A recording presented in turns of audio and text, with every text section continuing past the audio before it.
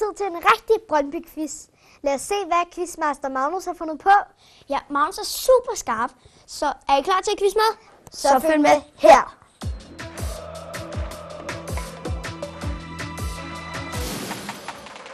Velkommen til det helt nye Brøndby Junior TV, og velkommen indenfor i vores quizstudie.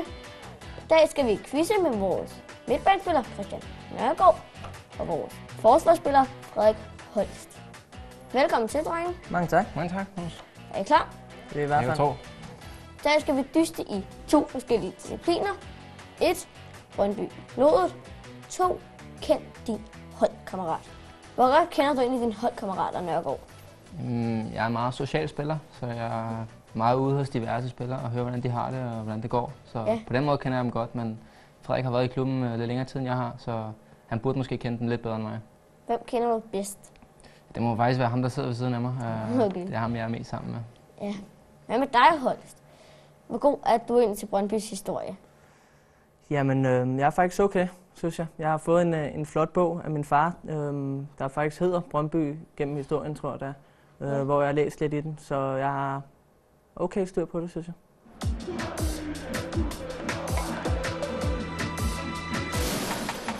Er I klar til første disciplin, som hedder Brøndby i blodet? Det er vi. Det er vi. Nu skal vi se, hvor skarpe I er til et Brøndby-historie. Jeg stiller et spørgsmål. Den, der først griber fat på fodbolden, får lov til at svare. Svarer du rigtigt, får du to point. Svarer du forkert, får din modstander et point. Så I skal være hurtige. Er I klar? Her kommer første spørgsmål. Hvem har historisk set spillet flest Superliga-kampe for Brøndby IF? Ja. det er en øh, Henrik Jensen. Er det det svar? Er det et svar, Holst? Det er Ja, det er mit svar. Det er forkert. Et point til ham. Det er Per Nielsen. Nielsen, selvfølgelig. Du har læst hans bog, mand. Det er Hun er lidt, rigtigt. altså... Ja, det er rigtigt. Jamen altså... Hold, godmorgen til Frederik. Hvem har rekorden som yngst målscorer i Brøndby IF? Hvad siger du? Thomas Kahnberg. Det rigtige svar er Nicky Simling. 18 år og 151 dage. Det er så også. Så er vi nået til sidste spørgsmål i Brøndby i blodet disciplinen.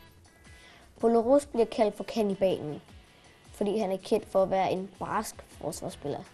Men hvor mange gule kort har han egentlig fået i sin korte tid hos Brøndby IF? Kom, kom. Hvad siger du? Han har fået øhm, 0 gule kort. Det er ikke rigtigt. Det er, det er to. Er det ikke? Jo. Nul. Så tag bolden, så og spil så smart, altså. Det er jo noget. Nu skal vi videre til disciplinen Kend din holdkammerat. I har fået udleveret to små tavler. I skriver svaret på tavlen. Et rigtigt svar giver 3 point, så nu skal der skovles point ind. Er I klar? Det er vi. Det er vi. Hvem har to hunde, der hedder Mika, Mika og Harley? Har du læst på lektionen, mand?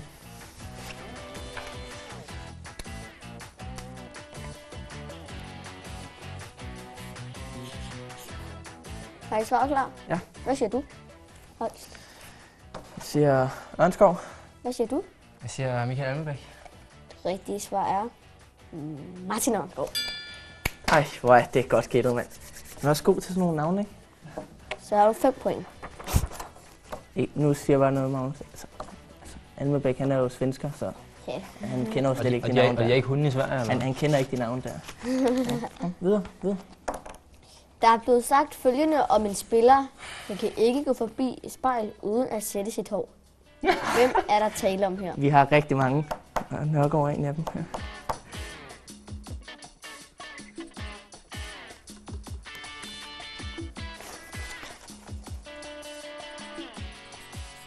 Hvad svar har du svaret? Jeg siger Falk, vores øh, dejlige målmand. Falkesvår. Falkensvår. Og du siger, Jeg siger Frederik Holst, og hvis det ikke er rigtigt, så er det her det, det er snyd. Det ja, er. det er det også. Ja, selvfølgelig er det det. Det kan jo ikke være andre jo. Ja, det var også dumt af mig. Hvilken spiller fra Brøndby har Iniesta som sit idol?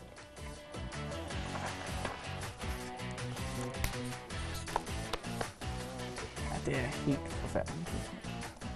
Hvad har du svaret? Jeg mener måske lidt mere om, om Messi, men jeg har skrevet Alexander Szymanowski.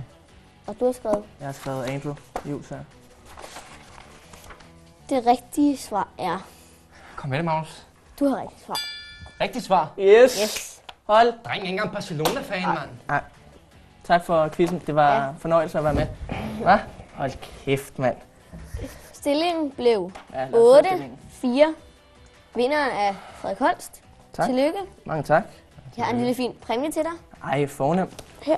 Jeg har aldrig en præmie. Uh.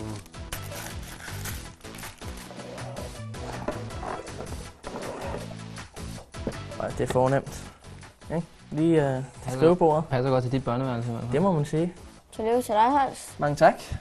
Og bedre held næste gang. Ja. Jo, tak, Magnus. Brøndby Junior TV elsker at quizze, så følg med brøndby.com. Jeg hedder Quizmaster Magnus, og jeg glæder mig til at se jer igen. Tilbage til Oliver Olivia i studiet. Tak, Magnus. Er du gal nok over bitter, men det er aldrig sjovt at tabe. Nej, det er det ikke. Måske vi ser dem igen. Det kan være, at Nørgaard vil have revanche en dag. Ja, Magnus er altid klar som quizmaster, så de kan bare komme ind.